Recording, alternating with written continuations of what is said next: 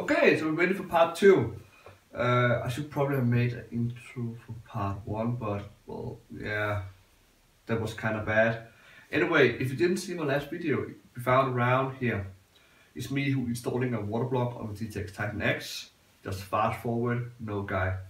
But okay, today I'll be putting the Titan X in my custom water loop, which is pretty high end, and the CPU is a 6900K is 4 gigahertz and the cost of water cooling is uh, two triple rads and one single.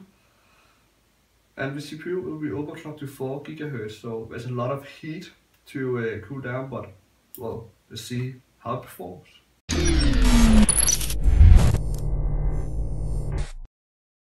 The GPU is around 29C in idle, uh, that is really good because I've been getting all day, so water have a good chance to warm up. But now I will stress test this uh, in Heaven Benchmark 4.0 for around 10 minutes. I'll be applying a little overclock on the Titan.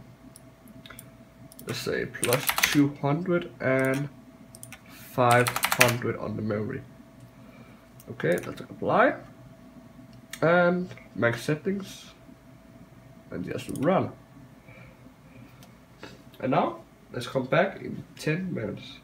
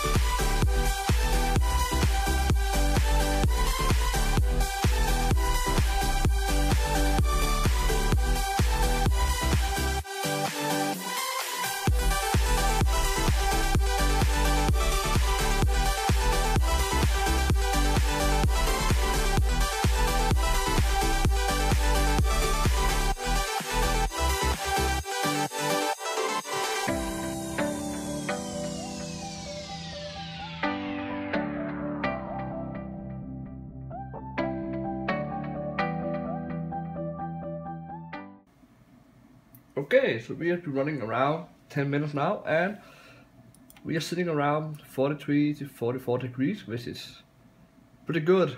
Consider the 2.5 because 2.5 2015 megahertz overclock and plus 500 on the memory.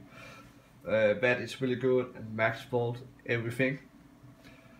Um, well, to be honest, this is a bit crazy, but it's well with overclocking the card is pulling out 300 watts so this is uh, really good and uh, well this is crazy.